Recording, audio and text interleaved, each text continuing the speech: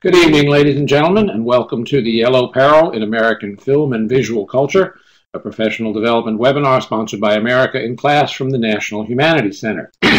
My name is Richard Schramm. I'm the Vice President for Education Programs here at the Center, and I'll be moderating this evening's session. Before we get underway, let me just introduce the National Humanities Center and America in Class. The center is located in Research Triangle Park, North Carolina. It is the country's only independent institute for advanced study in all branches of the humanities. What that simply means is that we run a fellowship program that brings scholars to the center from this country and abroad to research and write on topics and subjects like history, literature and language studies, philosophy, criticism of the arts, that sort of thing. We are distinct among institutes for advanced study in that we run a vigorous outreach program for teachers, and we do that under the uh, brand America in Class. You folks have discovered the webinars that we offer for American history and literature teachers. And if you go to americainclass.org, you'll be able to gain access to all of the other resources that we offer uh, to assist people in teaching about American culture.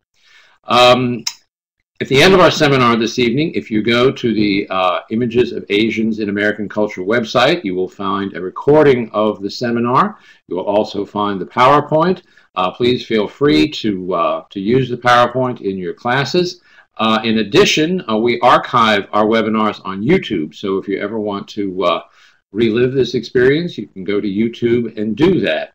In addition, uh, on this website, you will find an evaluation form. If you'll fill that out, you can do it online and send it back to us. we really appreciate that. It's important. We listen to what you say and we try to improve our programs based on what you tell us. Uh, once you once you send that back to us, you'll be able to download documentation of participation, which you'll be able to present to your local certifying authority to get whatever recertification credit your participation in this webinar warrants.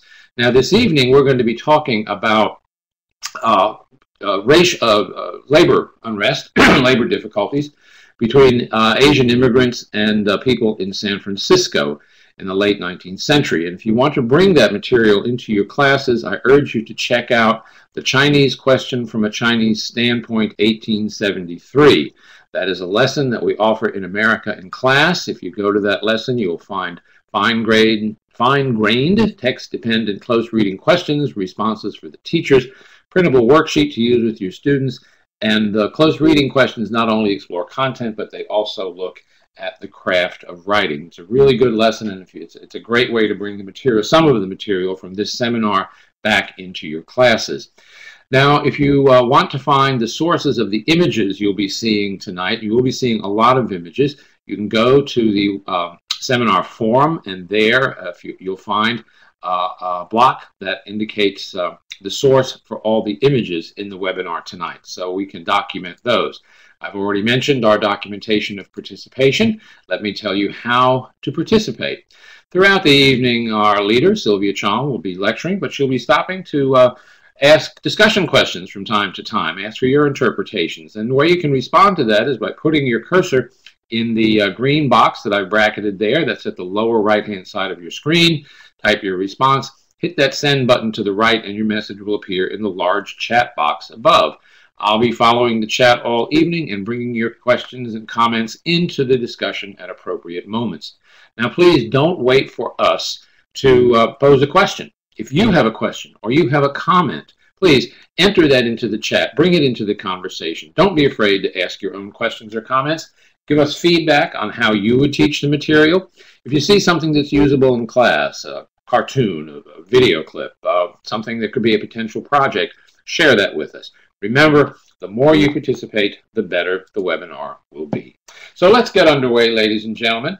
Uh, before we do, though, let me just let me give you a little bit of warning. We're going to be see some. We're going to be seeing some videos, and um, the videos often will come up, and and the movement will start, and this, there'll be a delay uh, before the sound kicks in.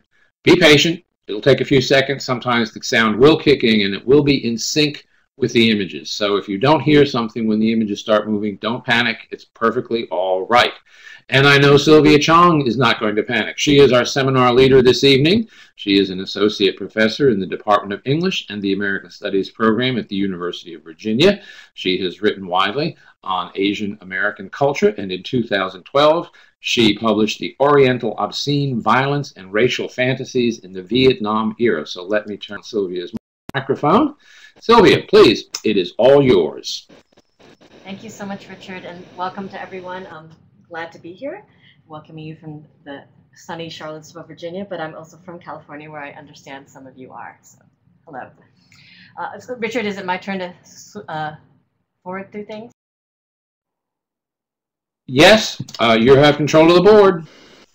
Thank you. Uh, so I'm going to walk you through what is a pretty wide sweeping historical context for a number of key images uh, in Asian, uh, the reception of Asian Americans under the idea of yellow peril in American culture. And so a few notes, uh, I've given you some readings that you can use as sort of summaries of Asian American history that will go more in depth than what I will be able to today. One of the important key notes I want to make is that sometimes when we talk about race and images, we are stuck talking about critiquing them as mere stereotypes, meaning we want to talk about why they're incorrect. And in some ways, that uh, leaves out the more telling parts of the images that are, I don't want to say correct, but um, reflect some reality of the time. And I don't mean that the Asians were really this way, but that this reflects a real conflict going on. So throughout, um, I, I, teach film and media and popular culture at UVA. We usually look at these objects uh, without talking about true or false, and which is what I'm going to try to do tonight, and which is something I encourage you to do with your students, but to see what we can tell about attitudes that these images reveal. And uh, these are some bullet points, uh, some although I'll go through a lot of about 150 years of history, uh, some major points that I will hit will be the conflict over early Chinese labor, the lead up to World War II, um, the immediate Cold War era, and then a tiny bit about our present time. And I think well, let's just start with the, our first very uh, stark image.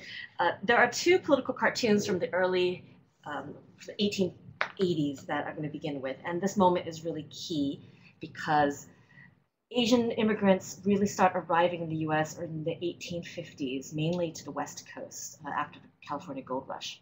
And by the 1880s, about 40 years later, uh, although the number of immigrants is small, their presence is symbolically large, and they enter into debates at first about um, slavery and slave labor, and then after Civil War, they enter into debates about what is free labor um, um, or uh, Republican labor. And so one of the clashes that uh, pops up is between members of the working class, uh, specifically the Irish and the Chinese. And so this cartoon represents um, an image from California. In 1882 is an important year because that's the year that the Chinese Exclusion Act is passed. And so I thought we could maybe just start talking about this image a little bit because it's um, it's one of my favorites to teach. It's very uh, eye-popping, and there's a lot of things we can talk about. Uh, and uh, uh, obviously, as a political cartoon, I don't think it can at all represent something like a realistic image of Chinese Americans, but I think it illustrates really well uh, the sorts of fears that people had of the Chinese, um, whether or not they actually knew of one or uh, fought with one over a job. Is that a good Richard? Sure. Uh, why don't we ask our participants to uh, do some interpretation? What do we see here? Um, any comments? And also comment on whether or not you'd use this with your students. I think it, I think it would be pretty, pretty good to use in a class. But uh, what do we see in this image? We got some people um, typing in. Uh, one person doing the work of many. Yeah, kind of an octopus image there, reaching out, taking things over. Um, what else do we see? What about those people on the right? Got some more folks typing in. Sylvia, I know when you and I went over this, I I didn't quite know what to make of those buildings in the background. Um, why don't we wait and see what people say about those figures on the right, and then uh, you can tell us what that building right. is back there. I mean, uh, those of you who teach 19th century probably know a lot about this. After um, the Civil War, there was a lot of um, industrialization and labor strife. There's a lot of labor strikes, um, violent labor strikes throughout the country, including in the railroad industry. There's a depression going on um, in the 1870s around the Great Panic. Um, and so there, there are economic hard times, and there is, you know, concern about how does uh, a normal labor you know, make his living. Um, and then, so as the comment was saying, one one person doing the work of many um, was the fear that the Chinese would begin to monopolize labor in these uh, burgeoning industries. So you can kind of see there's shoemaking, um, garment work, uh, cigar, cigarette folding. Um, the plank on the a man's foot says Chinese trade monopoly. Just you know, stating the obvious right now, but uh, just providing us a little bit of right. There's a there. We have some comments. Uh, um, participant writes Euros not being able to find work. Another participant writes, I think this cartoon would create a great starting point for discussion to explore stereotypes in an historical framework. Definitely provocative, writes another participant. Almost the same attitude is reflected here that we see with the debate over Latinos.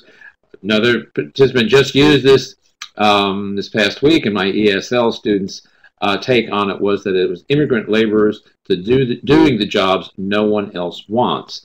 Uh, another participant writes that they are doing what no one wants to do, and therefore it seems that they are taking over labor. Were these jobs nobody else wanted to do in 1882, Sylvia? Uh, not necessarily, although they weren't desired jobs, they were definitely not um, step, stepping stones to the middle class. But um, they were new jobs, and obviously uh, the, the factory owners were fighting to pay as little as possible for these jobs.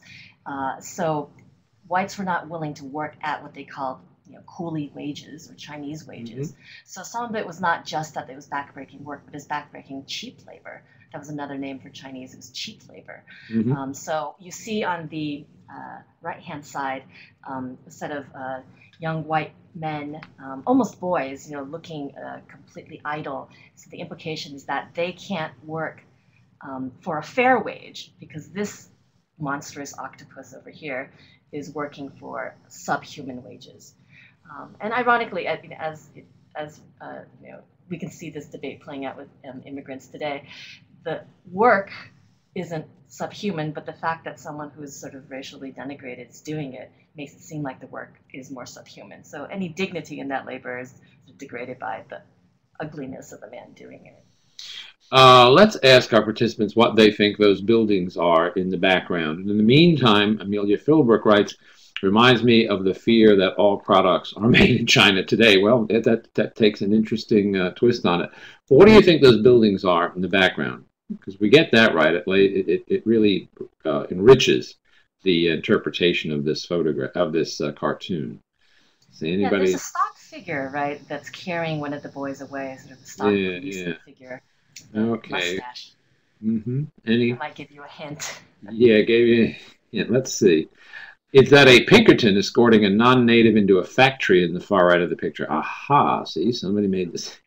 thought the same thing. That I thought.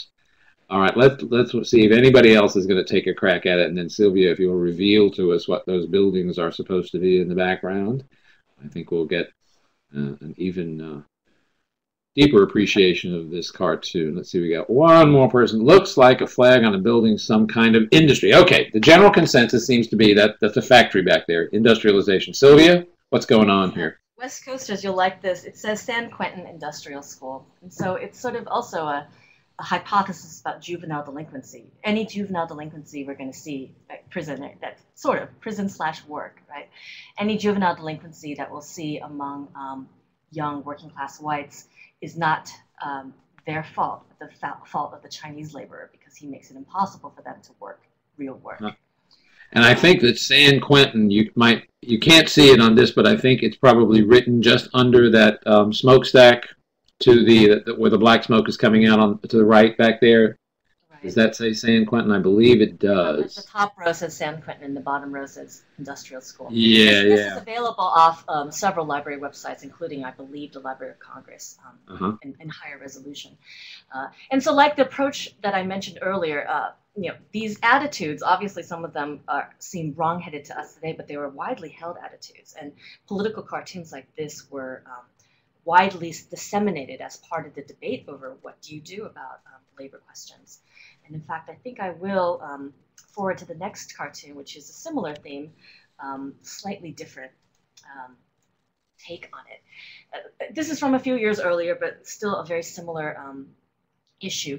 So the Chinese must go is a slogan that Dennis Kearney, who was the founder of the Working Man's Party of California, coined. And uh, uh, California exclusionists were some of the most uh, vocal advocates of Chinese exclusion, which was a national law that passed. So I'm just going to read the captions because it may be hard for people to see. Uh, we'll, we'll zoom in on a few images in the next page, but on the top it says the Chinese must go. And You see that racial strife between um, Ch Chinese workers, and then in the middle, the Chinese go, and on, on the um, right, New York, the Chinese must come, help wanted. And then uh, going back to the left again, Mott Street is uh, still the center of um, Old Chinatown in New York City. Now it's Mott Street with the flag saying uh, from China. It's kind of overrun, like slum-like with the Chinese. Uh, the middle picture, uh, departing biddy to the Chinese usurper. Uh, sure as Dennis Kearney will see me righted, ye heathen Chinese. Um, you might notice also that in the drawing style, Irish are also um, denigrated at this uh, time, that many of them are drawn with sort of simian ape-like figures. That's a common political cartoon representation of the Irish. And the Chinese also is drawn with sort of a dark face and distorted figures. Lady Liberty is throwing life preservers to Chinese who, if you notice, are coming off of a boat from California. And when they first emerge, they look like rats in the water, but it's when they come out that you see it's their queues or ponytails coming out of the water. And then on the bottom, this is the artist's imaginary. This is what happens when the Chinese take over. You have a, a, primary meeting of the future, but the Chinese are now screaming, the Irish must go. And now an Irish worker is being beaten over the head with a policeman. Uh, a Chinese railroad conductor says, get out, you Irish heathen, although it's, it's spelled with an accent, you Irish heathen. And then a Chinese wave uh, is hosing down um, away white Americans, including upper class ones, in their top hats. the Chinese make a clean sweep. So uh, it's an interesting cartoon because it's I think it's so vastly racist against both Chinese and Irish. Um, but it also depicts what must seem like a dystopian future if we were to welcome the Chinese. So it's criticizing the people who, who are making use of the Chinese you know, help wanted in New York but it's also criticizing, you know, what might happen, you know, the dangers of letting the Chinese into America, letting them into society, and if they were to get more traction in society and in the public. Sylvia, what was the what was the the purpose of this cartoon? Who, who was it aimed at? Was this aimed primarily at the Irish to to encourage Irish uh, resistance to uh, the Chinese movements into New York? Uh, who was the primary audience for this? Well, the Puck was a satirical magazine that had a lot of. Um, it was not one of the largest magazines that had a wide readership, and it wasn't working class readership necessarily. Uh, because this cartoon's making fun of the Irish, I don't think it's aimed at the Irish, and that, and yet I think it's sympathetic to Dennis Kearney's working working men's party platform of mm-hmm. excluding mm-hmm. the Chinese. Mm-hmm. So it, it cites the Chinese must go, seems to criticize the Irish for their you know prejudices. Let me forward to the next page. I think we have a close-up of these pictures, uh, seems to, you know, um, criticize the Irish for being racist um, in dri driving out the Chinese, but doesn't necessarily welcome the Chinese. So it's ambivalent. You see this in a lot of political cartoons, um, a wide range of, of positions, some very conscious of the hypocrisy of exclusion politics, and yet, even if you're not pro-exclusion, it doesn't mean you're pro-integration, mm -hmm. pro-assimilation. Now, I notice in the New York cartoon, the people who are welcoming the Chinese workers are all women. Presumably, the Chinese are coming to New York to do domestic work. And that would directly displace Irish workers, wouldn't it? Mm-hmm. In fact, the accusation was that the Chinese men, mostly men, were displacing Irish women, domestic, mm -hmm. female domestics. Mm -hmm. And you okay. notice how, how the upper class um, women are drawn differently than the lower class men who are fighting in the San Francisco picture. Yeah, yeah. and the one there in the in the uh, striped dress. I mean, obviously the eye focuses on her. Uh, she's the most dramatic uh, of them. And well, shall we move ahead? Yes, okay. I'm going to zoom through a few of the next photos, the um, images. They are context leading us up to um, the mid 20th century. So the term yellow peril, as, as I shared in one of the readings, is not an American term only. It was actually used also by the European nations. Uh, and, and the most famous rendering of it was um, Kaiser Wilhelm, or Emperor William of, of Germany. And he had a painting commissioned after a prophetic dream that he had. and he titled it the Gelbes Gefahr, uh, the, uh, the, Yellow Peril. And in it, he shows the archangel Michael leading European nations represented by their mythological, you know, um, you know Lady Liberty type figures, marching under a, a Christian cross against a stormy, dark Buddha figure on the horizon.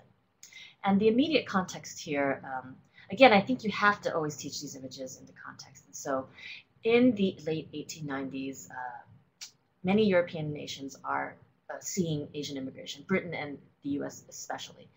Uh, but they're also they also have colonial designs on on, on Asia, uh, particularly China. Japan has modernized since the Meiji Revolution. And this is um, I'm touching main historical things very quickly, but um, hopefully they'll be familiar to people.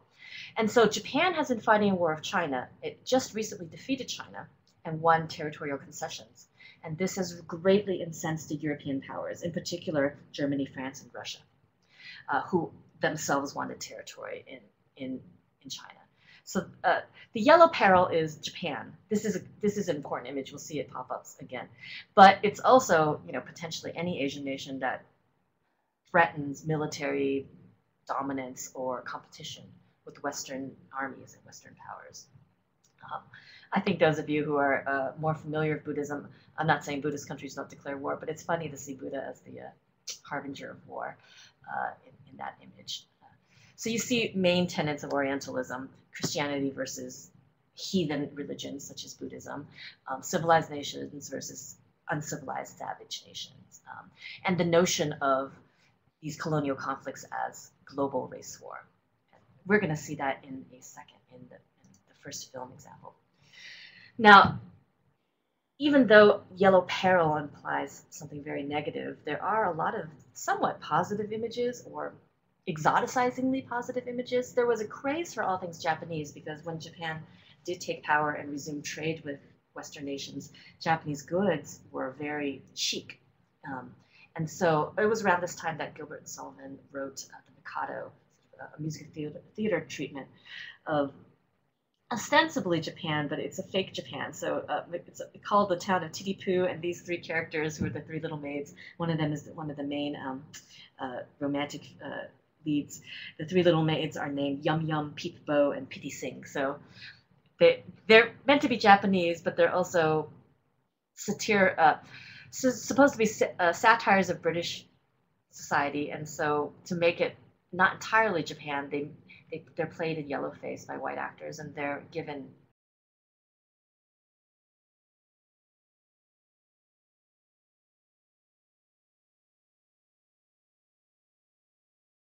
jazz versions throughout the 20th century. It shows you that um, fear and uh, admiration slash um, fetishization can sort of um, uh, take place alongside one another. Um, so the Mikado is a great image to show against um, something like this because they, they're uh, almost coterminous. Um, I, I, study mostly film, so now as we get into the modern era, I'm going to have a lot of film examples. And here is one of the first Asian American slash Asian film stars, uh, the actor Sessue, uh, Sessue Hayakawa. And this is one of his more famous films called The Cheat. I put Burmese into quotations because Japan was still powerful enough at this time that they could object to their representation in American films and things could be changed. So Hayakawa plays a ivory merchant that threatens extortion and attempts rape on a white woman who is borrowing money from her from him. Uh, he, uh, the only thing they changed to make him Burmese are these uh, the titles. It's a silent era film. He he remains throughout the film um, very Japanese in appearance with uh, Japanese themed robes, much like the Mikado stuff, and shoji screens in the background. So you see, even with um, popular films, and Hayakawa was an early matinee star who was very popular. Um, he was popular in roles that weren't all villainous, but this one was fairly popular as well. Uh, fulfilled a sort of a dangerous, um, sexually malevolent um, fantasy, you could say, that you might still see later on in um, in representations of Asian men that they are. Uh, if, they're not necessarily meant to be attractive, but they are sexual menaces to um, American society, and their exoticism is sort of attractive. Uh, so they're moving ahead a little bit. There's this dichotomy then between pleasant positive images, you might even say, and negative images. Uh, they're both part of the yellow peril, I think, because they, they, they always appear together, uh, even the positive images that are not dangerous. I think a lot of you are familiar with Charlie Chan, one of the most famous American serial depictions of Asian Americans. Uh, this is supposedly the best of the Charlie Chan films. I think there were 40 plus films of Charlie Chan, and all, all of them, except for the first three, had uh, white actors playing Charlie Chan uh, I'd be curious if uh, people um, still know about this. It might be an older generation thing. The younger generation, uh, my students, for example, know little, very little about him. Um, so Warner Oland is the most famous Charlie Chan. He was a Swedish-American actor who, ironically, uh, liked to brag that he must have been part Mongolian, and that's why he could play Charlie Chan realistically. Um, none of that's true, but uh, that was part of his persona. And he would spout aphorisms, uh, little fortune cookie like uh, uh, sayings. And in this one, I think in the the, op, the opera one has a famous one where he says to his son at the end, number one son, Keye Luke, uh, played by Chinese American Keye Luke, uh, like last rose of summer, you bloom too late. Um, this is admonishment to his son for being too late with the clue. Um, Charlie Chan and Fu Manchu, who I'll show in a second, they're early representations of Asian um, and they represent this dichotomy of safe, harmless, positive versus malevolent, scheming, dangerous. Um, it's hard to totally get away from Charlie Chan because for, for many Chinese Americans, uh, we know from historical research, they welcomed even a, you know, a buck-toothed, accented representation because at least he was a hero. He was a detective solving murder mysteries. Um, he was funny and well loved. There's anecdotes that uh, Warner Oland went to Shanghai in the 30s and he was uh, well received, um, whereas the Chinese American actress Anna May Wong went at the same time and she was demonized for playing um, more evil roles. Uh, even though I don't have um, a clip to show you all, I'd be curious if, if anyone has any memories or uh, feelings about Charlie Chan if you've ever used this in, um, in any kind of context. Well, let's see. to ask our participants, any of you uh, old enough to remember Charlie Chan? I certainly remember Charlie Chan movies. I enjoyed them as a, as a kid. We have some people typing in. He, um, Sylvia, he always struck me as, as he solved the crimes through ratiocination. He always seemed to be uh, almost mystical in his abilities to uh, to to figure out clues and make connections. Is that any kind of a characteristic uh, that uh, American culture ascribed to uh, to Asians? Um, not necessarily, and I think that's one of the ways he was sort of positive, right? He um, he wasn't um, necessarily stupid. You know, mm-hmm. like, like laborers were presented. Um, mm-hmm. At the same time, because he spoke in fortune cookie type language, mm-hmm. and it was very mysterious about the way he actually would find the solution. Mm-hmm. Sometimes there would be an implication that it was some kind of Oriental wisdom that led to. Yeah, yeah, that's a good way to put it. Oriental wisdom. Now here we have some participants. I have never used these clips in class, but I remember my grandparents, oh Lord, being familiar with Charlie Chan. They viewed him in a positive light. And Jay, yes, we're showing our age. Uh, I remember Charlie Chan movies. Good for you, Carmen. I'm glad to hear that. And we they have, were showing uh, them rerun for a long time, and I think they keep trying to want to remake him. The reason why I think it's important to bring him up and have people still see him is that for a generation of Asian Americans in the 70s and later, he was a polarizing figure, and people hated him. It's sort mm-hmm. of uh, saying Charlie Chan would be like saying like Uncle Tom. You know, it was some sort of hated stereotype. And uh, I think now, um, you know, a little bit with a little bit of distance from the civil rights era, we can look at these icons a little bit more complexly. I'm not I'm not trying to say I love him um, or see myself um, or my Asian American uh, family in him, but he, uh, like like you were saying, Richard, he he was uh, he was smart, he was canny, and mm-hmm. a lot of people really liked the uh, the style with which he he solved mysteries. Right. And Amelia writes, I do not remember Charlie Chan, though I've heard that phrase uh, that you mentioned about coming too late.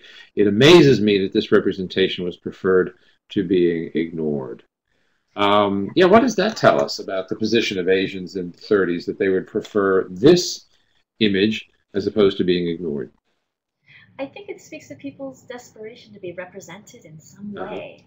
Uh-huh. And when you see the next one, which I'm going to show a clip from, uh, compared to the other stuff that was around, like the octopus laborer um, or the the rat coolie, um, Charlie Chan was um, seemingly refreshing and mm-hmm. these early Chinese Americans. So uh, the early Chinese Americans, they had to have arrived um, before 1882.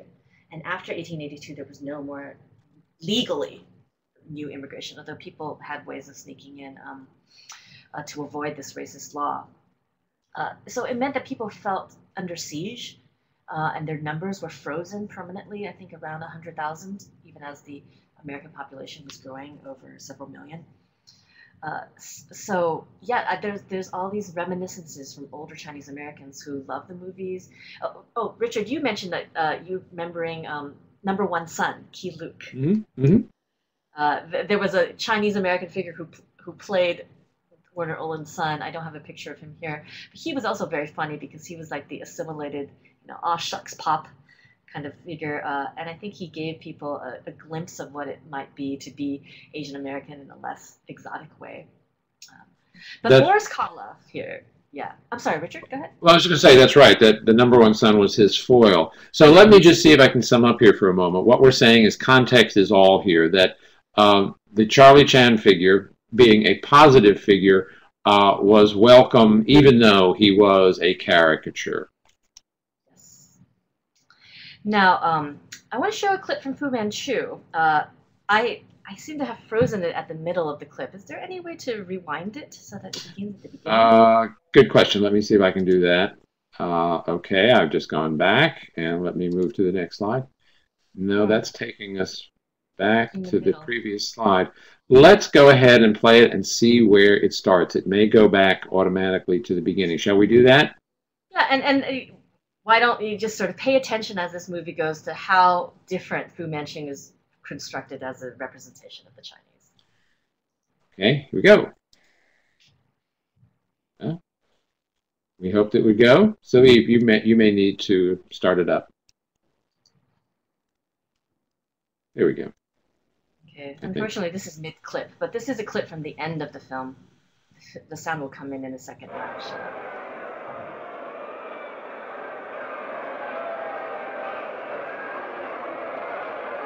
actually this is perfect.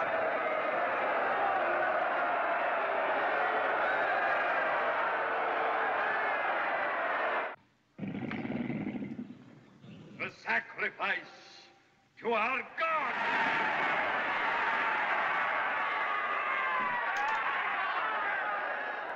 Would you all have maidens like this for your wives? Then conquer and breed! kill the white man and take his women.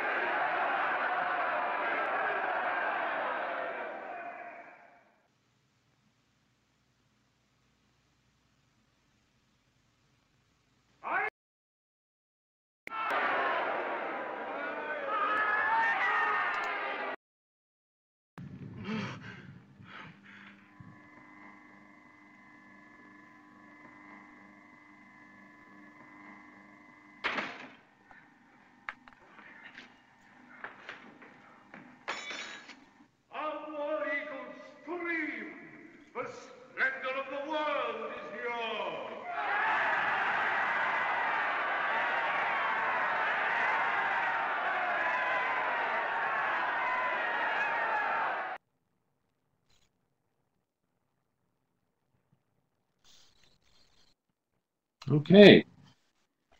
What shall we make of that?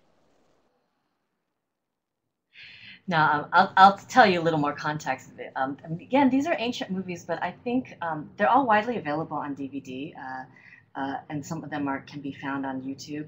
And they represent such touchstones for other people's imaginings that I think it's really important to look at them. Um, and uh, uh, so I'll just point out some some narrative stuff. Fu Manchu is supposed to be uh, an evil kind of villain, kind of a prototype of later James Bond, Doctor No types. They want to take over the world.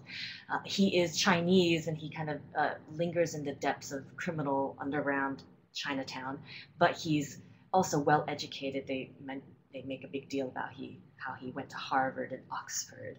So there's sort of this implication that he is uh, he's taken Western knowledge, but he's used it for evil purposes. Uh, you'll notice throughout this scene, um, it's it's even more stark in the beginning of the movie that there's all the oriental stuff. So he is stealing the mask of Genghis Khan. Uh, that's the mask that he's wearing, and that's the sword of Genghis Khan. So another yellow peril from history, because he thinks by stealing it he can lead the Asian nations into race war. And so he says there, "Would you? Let's see, where did I write this down? Um, would you all have maidens like this for your wives, then conquer and breed, kill the white man and take his women? And you see on the um, picture, the I think some, someone just commented on this, this soft focus glamorizing um, the, the female character Sheila, who's, who's on the stretcher there. Uh, so there's all this very Orientalist exotic imagery. The exoticism is uh, multiplied by all the people in the crowd who represent not just one, but multiple, I want to say not just Asian, but third world nations. This is anachronistic. They're not saying the word third world, but there's sort of Ottoman Empire, there's sort of African, you know, images, Indian, uh, uh, South Asian, Southeast Asian, um, East Asian. And then you see with the torture chamber, that's that giant chair with the spikes, a very Art Deco modern appearance. So Fu Manchu is both exoticizing and ultra modern. And just after this clip, they use his ultra modern weapon to kill him. So they turn his weapon on himself. It's a static electricity weapon. So these are all really state of the art uh, special effects at the time. And they were also meant to sort of highlight how cruel he was, that he could use these things that would elsewhere be used for technological good. And he's turning them into weapons of mass destruction. Um, so I, I, I uh, gave out a reading about some of the history and con- uh, contrast between Charlie Chan and Fu Manchu. So now that you know you've seen the two together, um, I'm curious if now you, you, you might feel differently about Charlie Chan, but also see some of the Fu Manchu artificially constructs Charlie Chan as positive.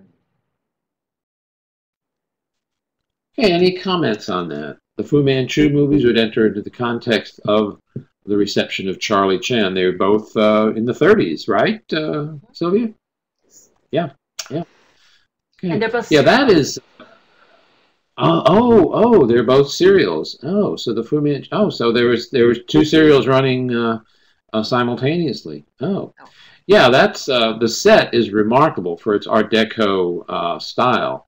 And here we have, um, yes, when you compare the two, one is preferable, but yeah, yeah.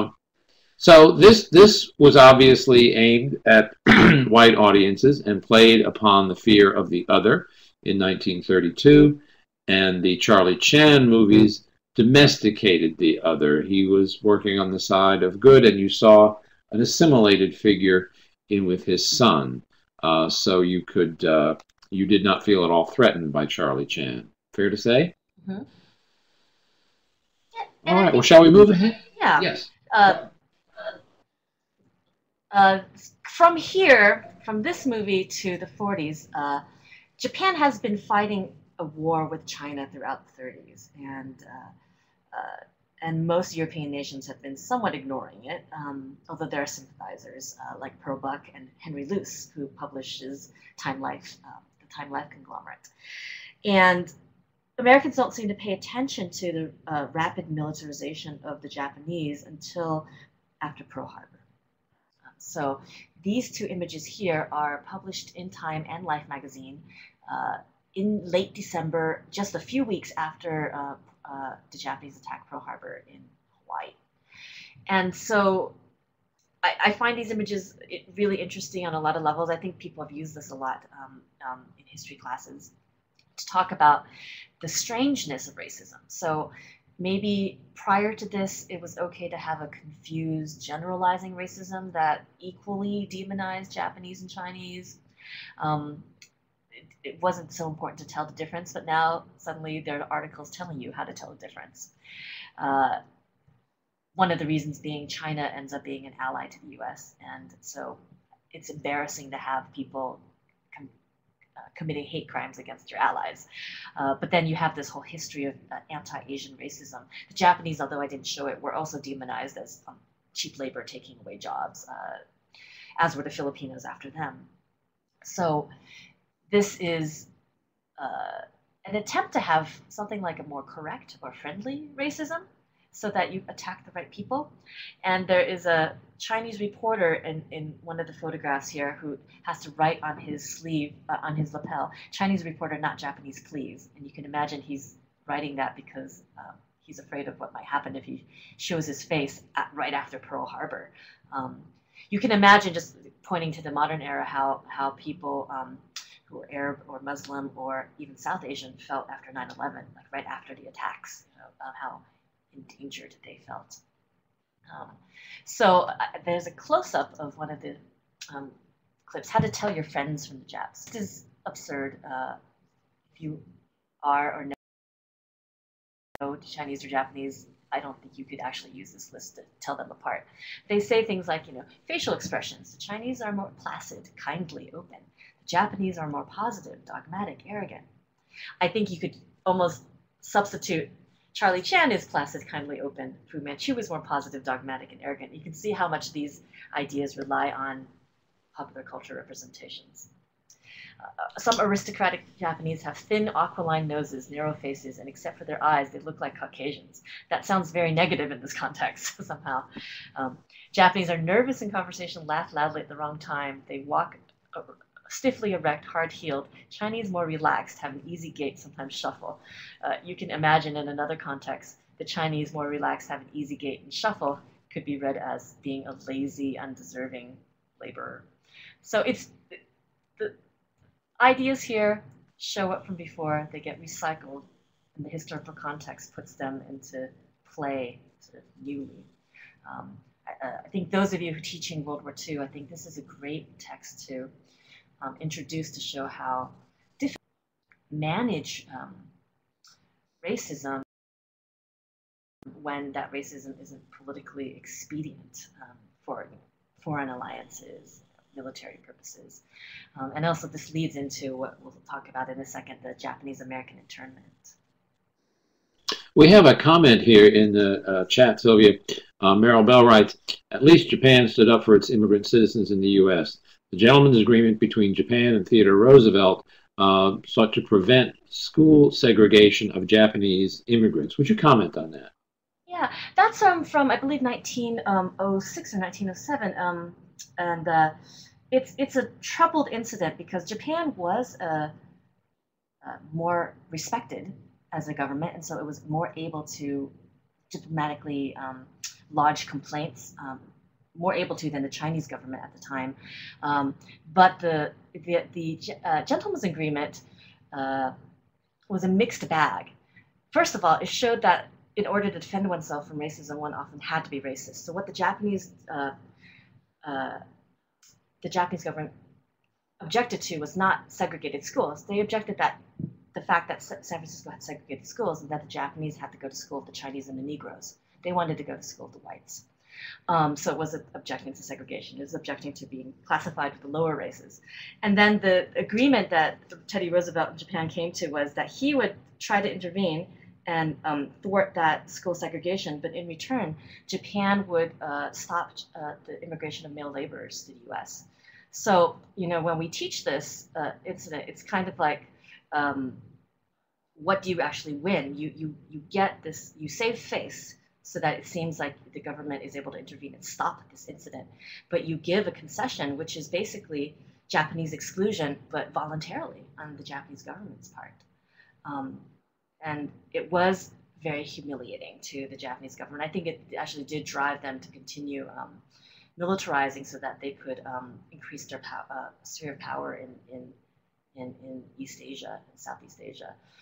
Uh, and it didn't stop the US from passing the Asian Exclusion Act in 1924, which stopped all Asians, Japanese, Chinese, Asian Indians. Um, uh, Koreans were considered Japanese at the time because Japan had colonized them.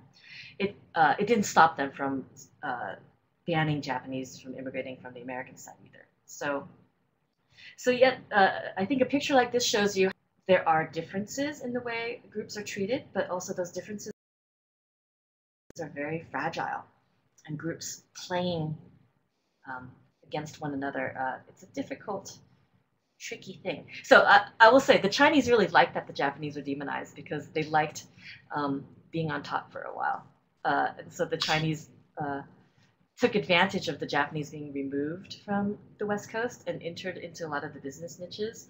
And they also enjoyed being the good Asians. The, one, one historian calls it being the good Asians in the good war. Um, uh, the Koreans were also really pleased that the Japanese were demonized because many Koreans were fighting for Korean independence under Japanese rule. So there were very few Koreans in the US at the time, but those who were anti colonial activists, resistance fighters, were really happy.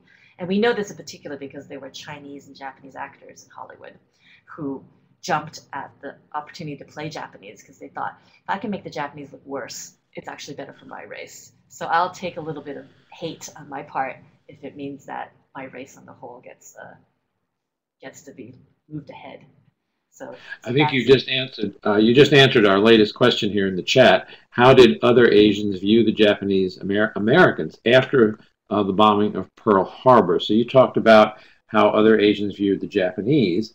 How did other Asians, um, presumably in this country, view the Japanese Americans? And we're going to be getting on to that. Maybe we want to hold that question in abeyance uh, and, and, move ahead. Here we well, here we are. So uh, let's put, put that question on the table.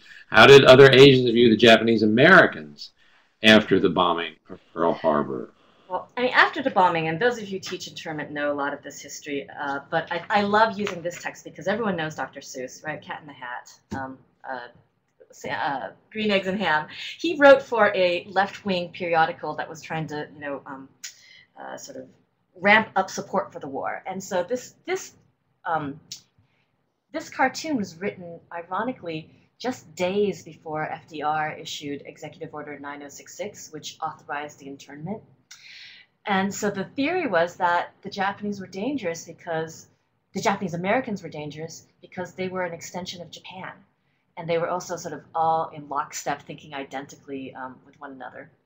And uh, it's like they're being issued uh, dynamite so that they could go sabotage some military installation.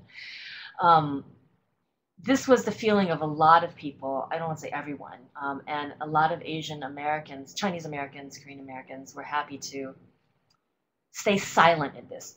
I don't want to say they all piled on and criticized the Japanese for being traitors, but they did not vocally defend the Japanese for the most part. Very few people did. Um, uh, at the early years uh, uh, of the internment. And so um, uh, the public sentiment was such that when, and even the Japanese Americans, when they were issued the order by FDR that they would have to evacuate their homes, um, we have a couple cases of, of legalized the constitutionality of the internment, but there's no mass riots, there's no armed resistance. Uh, many Japanese Americans thought they had to go to the camps because resisting going to the camps, even if it was illegal, would show that they were disloyal.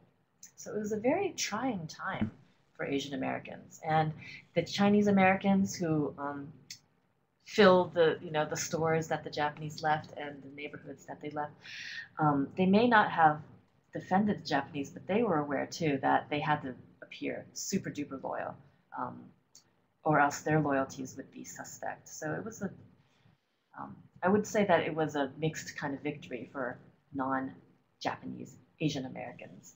Um, their status was elevated as symbolic allies, but they still had to watch their step very closely. We have a question here in the chat. Are those ships in the background saying that the Japanese were entering through Canada?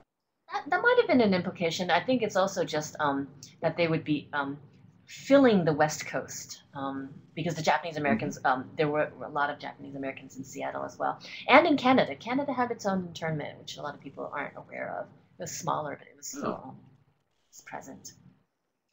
Um, and yeah, the Japanese were not popular in Asia. So if you were Chinese and you had relatives in China, and Japan had been bombing China since the early 30s, you know, and the rape of Nanking takes place in the 30s, um, you are happy to have the, uh, the Japanese turn into the enemy. But again, that didn't always translate to necessarily to you were going to go out and attack your Japanese American neighbor because again, the, the line is thin. Just you know, just as we can we saw here, uh, people couldn't tell the difference between you and the Japs, um, and it would uh, you wouldn't want to run around um, calling attention to yourself as an ethnic group um, during the war. So a lot of racial politics get complicated in the war. Um, those of you who teach stuff about African Americans know that African Americans were divided about whether they should um, happily and voluntarily be drafted for the war effort or whether they should sit out. Um, and a lot of African Americans said uh, Japan was no enemy as long as they were fighting the white man. They didn't care. Uh, so this is a small minority but vocal sentiment heard in um, some circles. I, I want to show you an example of this. Um, uh, uh, gosh, we're running out of time, Richard. I'm sorry. Uh, did we go to eight?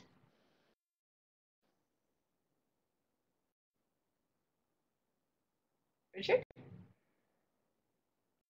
Um, I think what I'll do here is, is um, play a bit of this and then I'll zoom through. This is a documentary at the end of the war, which was supposed to get, um, oh, 8.30, great, um, get Asian American, uh, I'm sorry, to get Americans um, reconciled to the idea that they had to really um, uh, fight hard against the Japanese, possibly kill every last one before the war would be over.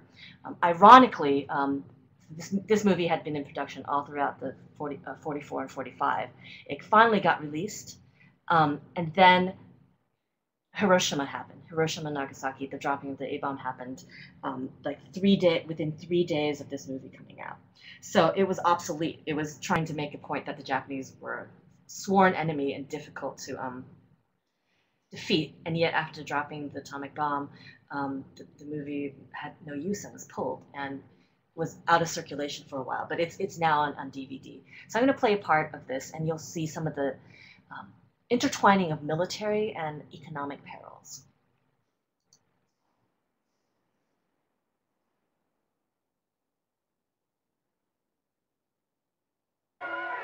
Taking advantage of these low labor costs, the industrialists of Japan knew they could undersell every other nation on earth, and they did. All over the world, they dumped their cheap labor products. And to their dumping, they added piracy. Countless patented articles were manufactured and sold throughout Asia under their American names. The two best-known American spark plugs. Genuine old Scotch whiskey was made in the distilleries of Osaka. Matches made in Kobe were labeled made in Sweden. They undersold silk to the silk-producing Italians. They undersold England's cotton goods in the home of her own cotton industry. They undersold beer to the beer-producing Germans. American toothbrushes retailing at 35 to 50 cents each were copied in Japan to retail in American chain stores at 10 cents each. They even undersold us with our own American flag. And with the money accumulated in foreign countries with these cheap labor exports, did they in turn buy automobiles, ice boxes, or food? Did they erect better homes for the Jap workers or improve their living conditions? No, indeed. Instead, they imported oil, scrap iron, tin, rubber, aluminum, and secretly built up their powerful war machine. A fanatic nation turning its sweat into weapons for conquest. Sweat for guns. Sweat for planes. Sweat for ships. Sweat for war.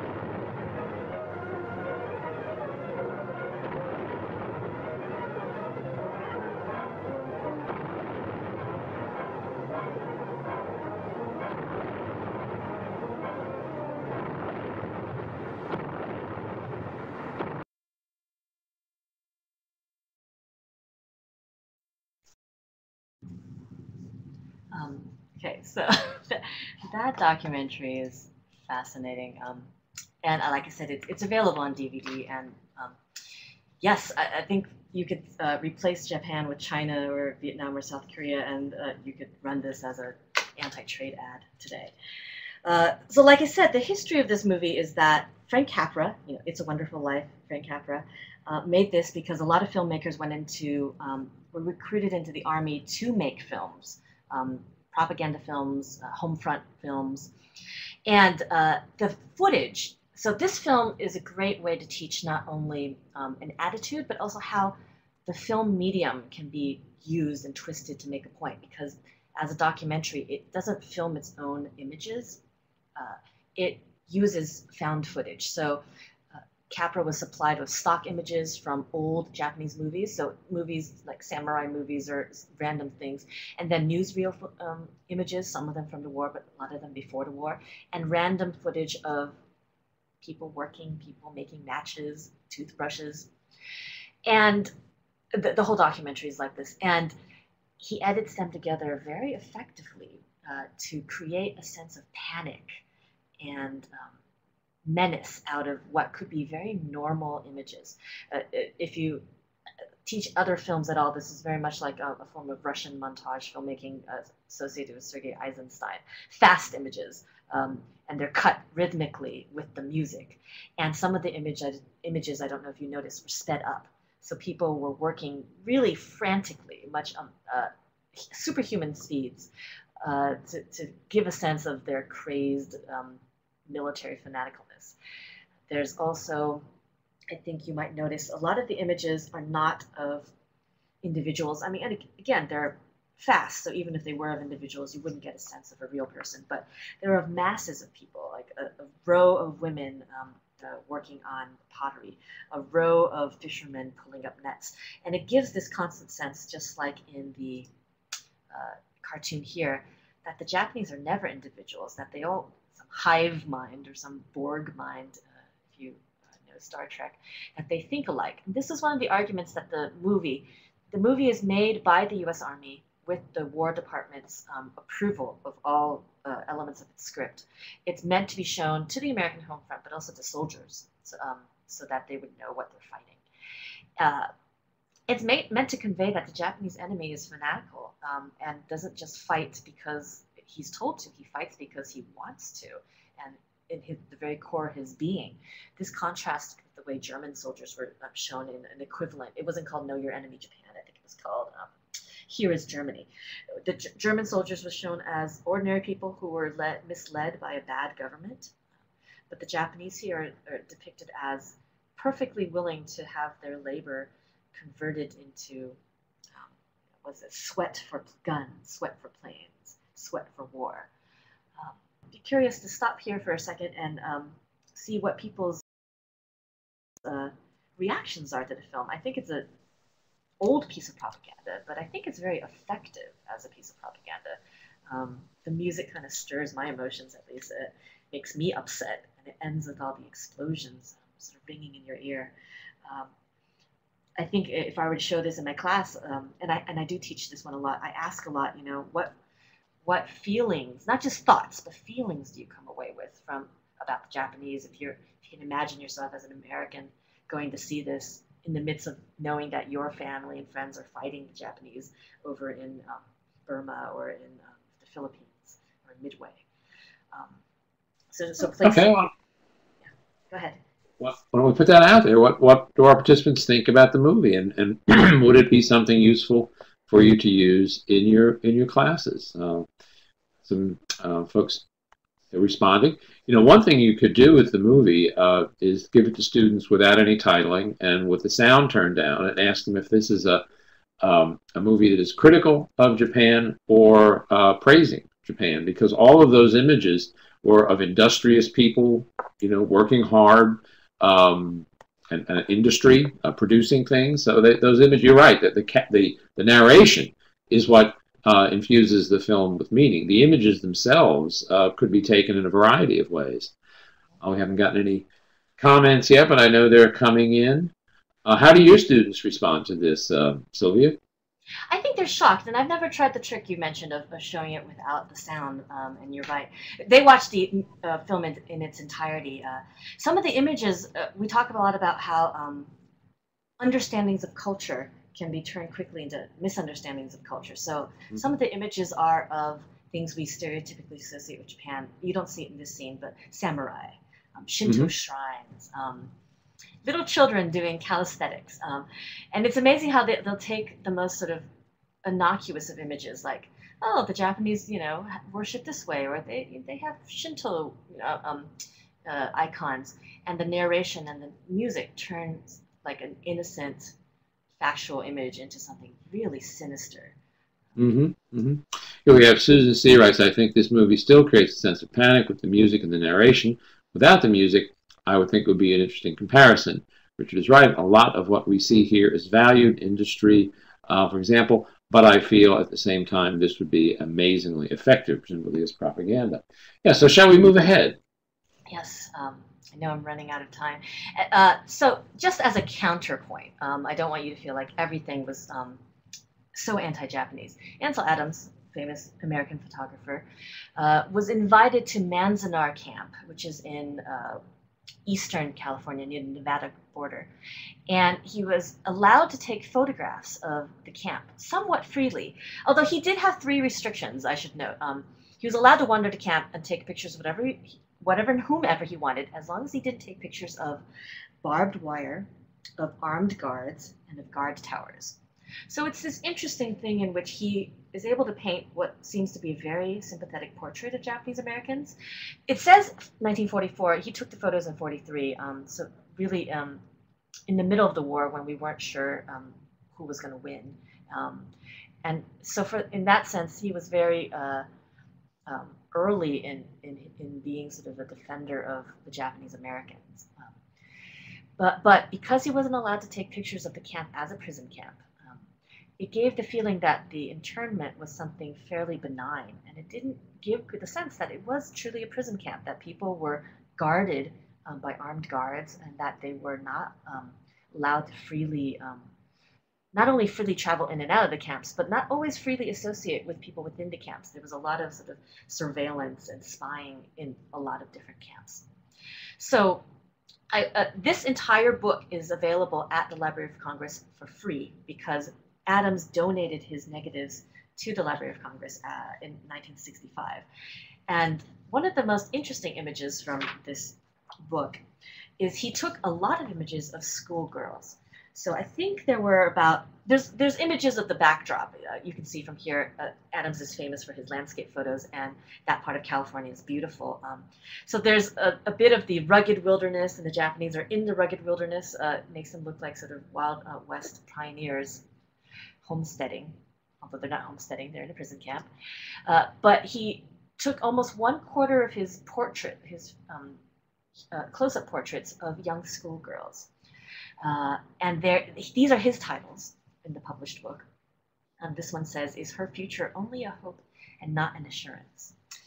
Uh, and I also teach this book as well, um, as a, not always in the contrast of the other one, um, sometimes on its own to give a sense of what a defense of the uh, Japanese Americans might have looked like. So this is seemingly a non-yellow peril picture, but also the problems of that defense. So I don't know if um, this is something that you can see right away. I think at, at first, kind of like Charlie Chan, it looks very positive, and it's hard to see sort of a negative, but I, there has been sort of a negative side to these, this portrait since.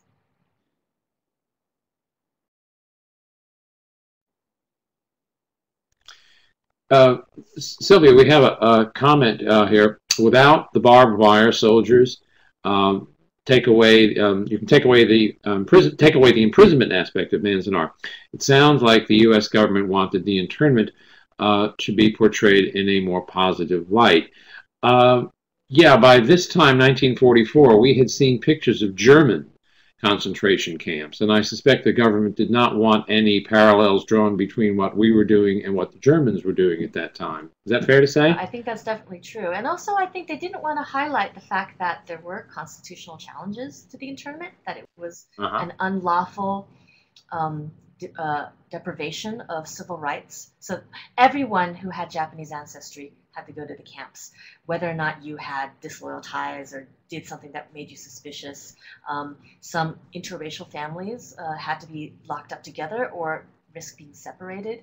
Um, about 70% of the internees were Nisei, second generation, so citizens by birth. Mhm. Um, so they weren't just immigrants with ambiguous level of rights, but they were um, American citizens by birth. Um, and many of them, not all of them, many of them fairly um, disidentified with Japan by that point. Um, uh, some of you might teach the 442nd, which was the um, Japanese American um, uh, volunteer troop, which was uh, one of the most decorated, uh, one of the most uh, celebrated uh, of um, military companies uh, during the World War II.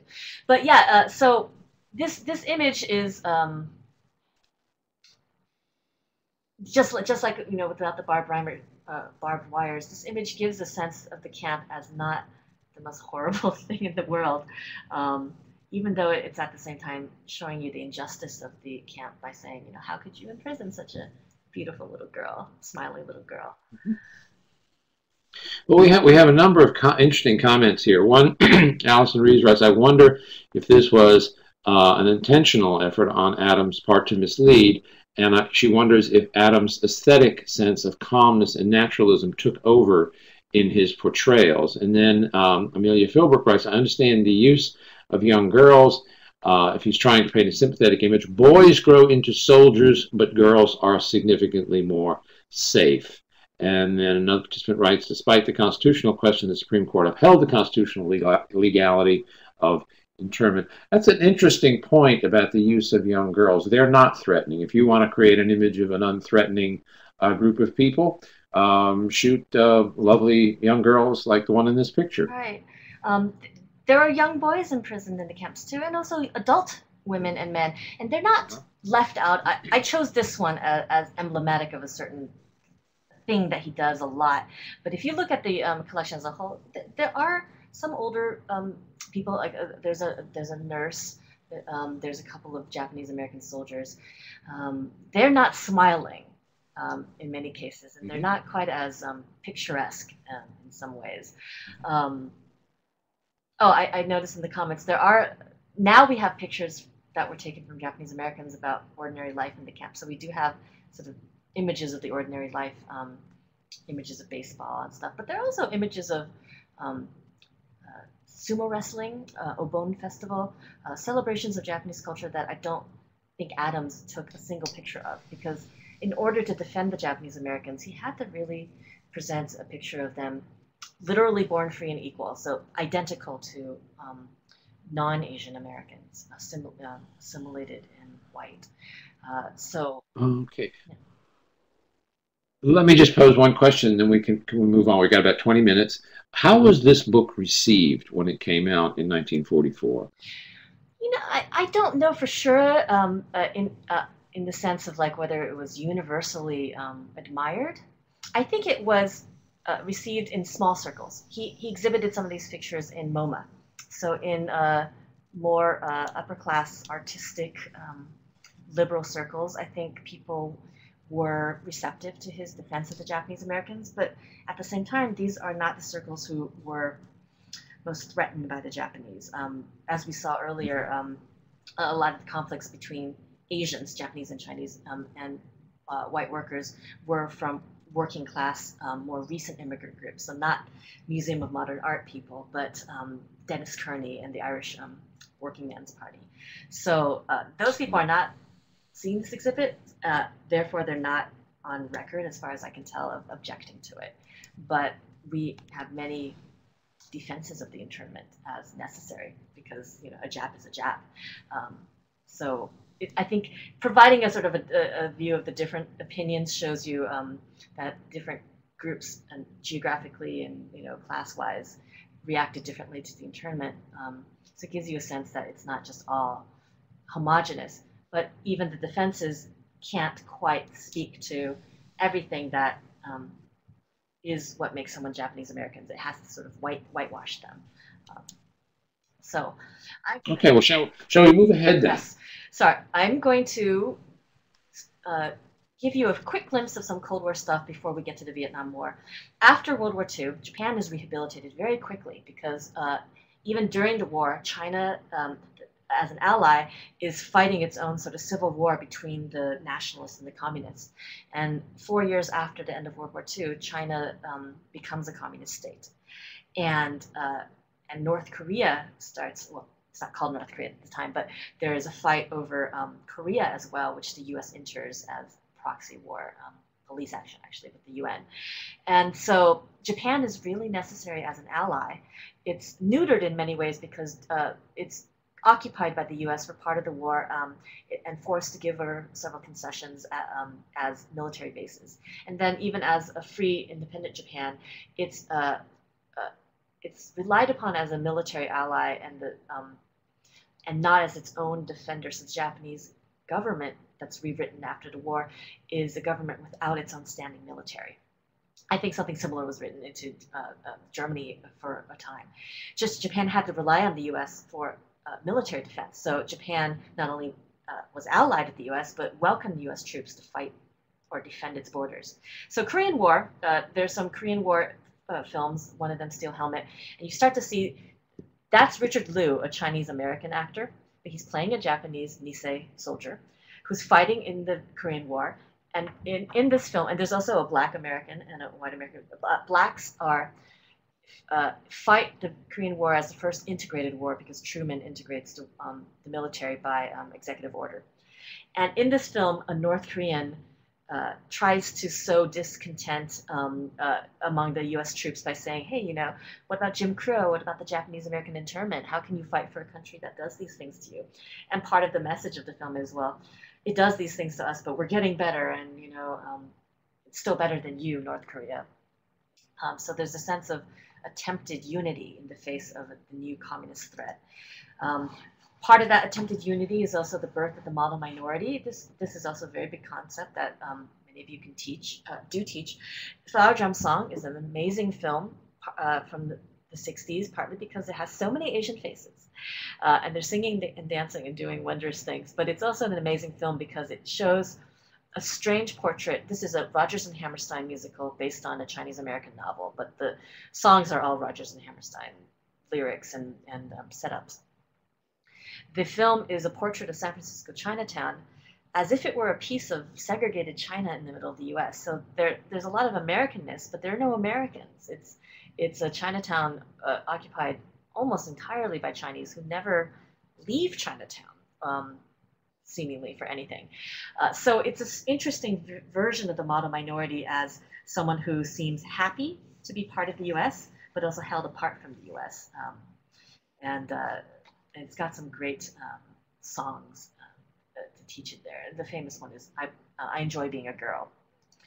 And then The Manchurian Candidate, which is around the same time, uh, it's about the Korean War, though the war has already ended. And it's the idea that the Soviets and the Chinese are allied in trying to find ways to infiltrate and defeat American culture. So the, the man standing is uh, um, Laurence Harvey, actor Laurence Harvey playing, playing Raymond Shaw, whose parents are Amer- uh, American politician. Uh, his dad, stepdad, is an American politician, and he gets brainwashed by the Koreans uh, to kill on command subconsciously. So he doesn't know. So he's an ordinary, good old American boy, but he infiltrates uh, American culture because he's actually uh, following the commands of, of the communist um, East, Russia and China combined. Um, and his mother's Aunt Angela Lansbury, and she's also turns out to be a, a Soviet operative. And together they try to assassinate a presidential candidate so that um, they can uh, become president. And basically the Manchurian candidate would be the Manchurians who run the American government from inside. So this is a thriller, a little bit of a um, schlocky film, but at the same time um, portrayed some real fears that people were debating. Um, so I have some disturbing images I wanted to warn people about before I show them as we turn to the Vietnam War. Um, the Vietnam War, as sometimes people forget, is also a Cold War war uh, fought over whether um, Vietnam would be uh, communist like the North or ostensibly democratic like the South. I say ostensibly because it's complicated, um, the, people in charge uh, of South Vietnam. This photograph is taken by an American photographer at the height of the well, one of the heights of the war at the Tet Offensive, 1968, uh, four years into the war after the Gulf of Tonkin resolution. And it's I don't I- think many of you know this picture. It's famous, but the context of the photo is fascinating too. It's um, South Vietnamese general, General Nguyen Ngoc Loan, shooting a North Korean uh, he he um no North Korean North Vietnamese spy uh, without a trial on the streets of Saigon during the Tet Offensive, which uh, was a massive offense by the Viet Cong and the North Vietnamese during what was supposed to be a truce over a holiday. And uh, uh, because they were sort of terrorizing major cities like Saigon, and there was a sense of unrest, I think that's why a, sense of martial law prevailed, and there weren't ar- orderly arrests and trials, but a lot of um, um, seemingly uncontrolled violence. And so this image shocked a lot of people because not just because they necessarily didn't know that the war was so violent, but they didn't realize that we were losing. The um, if you didn't know who the shooters were, it could give you the sense that um, the Vietnamese are in control and they're killing uh, everyone around them. Um, so you might think that the South Vietnamese general is actually North Vietnamese. It might also give you the sense, if you did know the, who the people were, that we're not fighting on the right side. Because if the general who's doing the executing is committing a human rights violation, um, and we're on his side, and who, what are these people that we're defending? Um, so it gave a lot of people a sense of lack of confidence um, in the South Vietnamese regime. And Cronkite says, sort of soon after the Tet Offensive, not just based on this image, but on other images, that um, he, he feels like he um, the, war is turning, that we are losing, and he can't, in good conscience, support it anymore. So a lot of people talk about this as the turning of the American sentiment against the war. Um, the war is complicated, but I want to point out some uh, um, the implications of having this image become a predominant image of the Vietnamese, because it starts to fit into the yellow peril uh, imagery, even though there are no Vietnamese in America in, in the early 20th century. Um, Vietnam is a French colony, um, and there's not much immigration from out, um, out of Vietnam at the time to the U.S. And it also gives the sense that uh, there's this sort of communist threat. So it's China, it's North Korea, it's North Vietnam. Um, that communism has somehow be, been racialized. I know they're Soviet communists, but uh, the communist enemies we see the most often are Vietnamese. So in a very popular film, Deer Hunter, uh, comes out after the war, a lot of the things that we see during the war as news images, that was a news image, become twisted around and sensationalized and become things that the Vietnamese do to Americans. So I'm going to play a little clip. It's a little bit violent, uh, although it's not, if you know the film, it's not the most violent clip in the film. And I think it gives you a sense of how an image about how the war was fought between North and South Vietnamese becomes a symbol of how Vietnamese treat Americans. And sort of there's no North and South now, it's just the Vietnamese are the enemy and how they treat Americans.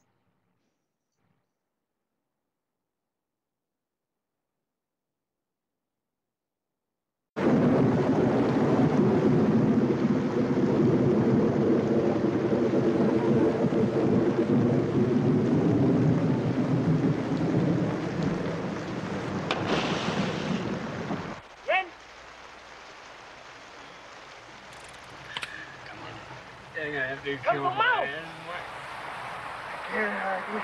Mama! Stevie, you gotta do it. You don't do it, they're gonna throw you in a pit. They throw you in a pit, you're gonna die. Then sit Go like a you gotta fool. do it. You can do it. Red! Mo! You can do it, Stevie. Oh, You Dad! can do it. Haven't you? Look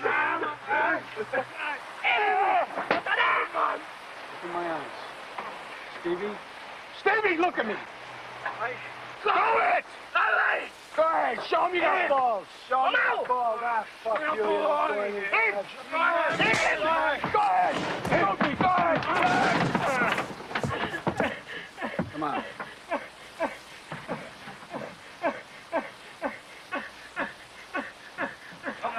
Go ahead. Go ahead, Stevie. Go ahead. Oh, you got man. Go ahead.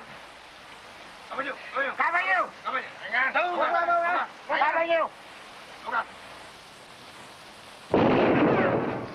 Mẹ Chó đáng.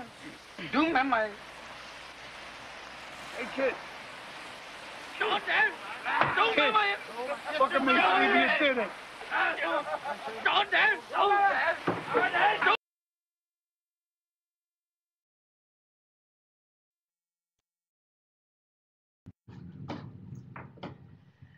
So I think um, this is one of the first Vietnam War movies to come out. It's not the first, but it's one of the first to come out after the war.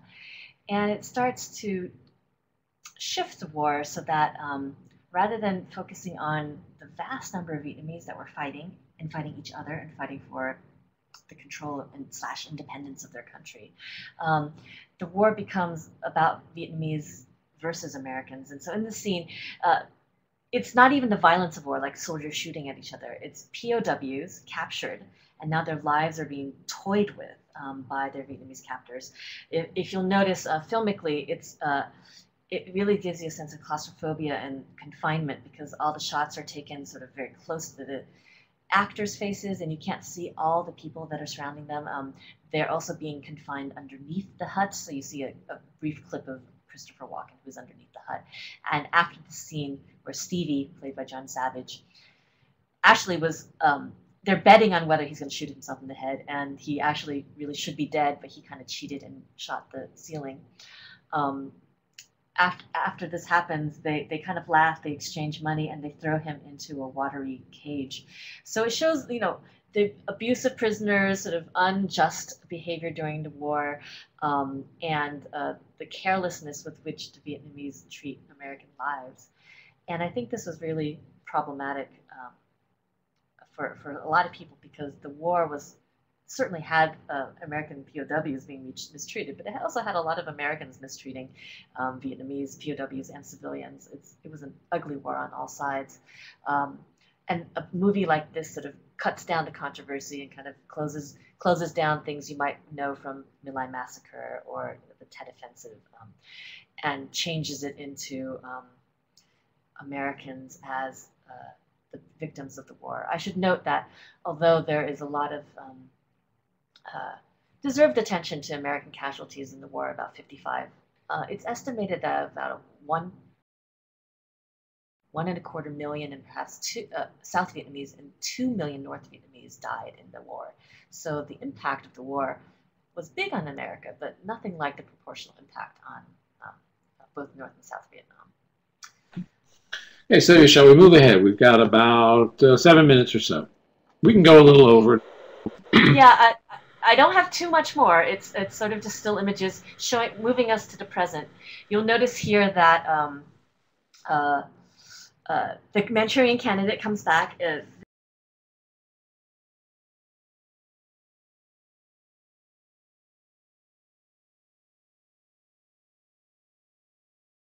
the 1990s. And obviously, it's, it's campaign scandal. Um, I'm not saying that it didn't happen, but in a funny way, racist stereotypes get brought in to talk about it. So when foreigners donate money to um, Democrats, uh, rather than it being the foreigners' fault, the Democrats become or honorary yellow-faced Asians. So uh, Al Gore is a corrupt Buddhist monk taking donations. Uh, uh, uh, Bill Clinton is a coolie, so you see the coolie hat. And then um, Hillary Clinton is a Maoist. You see her Maoist cap on there with the um, her little red book, Mao red book. Um, and interestingly, the one of the political cartoons that comes out of this scandal. The reason why this was um, interesting to Asian Americans is that it, it had a chilling effect on Asian American participation in the political process because it it implied that the foreign money coming in was foreign by nature of the people. So if you were an American citizen donating, um, but you were Asian American, you were still suspect. So John Huang is the bundler who bundled the money for some Indonesian bankers. Um, he's one of the people who did plead guilty to campaign um, finance charges.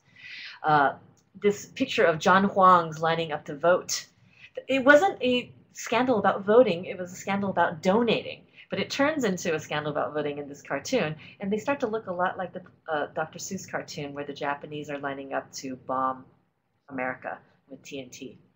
And the, uh, uh, the only thing suspicious about him is that his name is Huang, and all of their names are Huang. And so, what are we doing with all these identical John Huangs? Um, and I think a, a final image for us to think about, because the Asian